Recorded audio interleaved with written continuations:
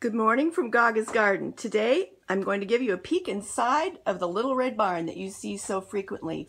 When you're setting up to do your rose gardening, it's really important that you have everything set up for functionality.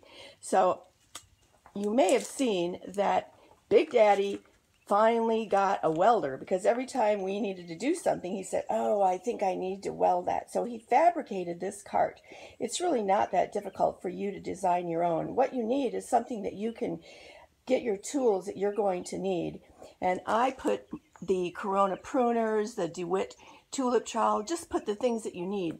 But it's really easy if you have he added a bin for deadheading and then these rakes are really great that you can get in between the roses. And um, I really liked this that there's a sink here for when uh, for potting and I use these reference guides all the time. As you can see I've got all of my reference guides for roses.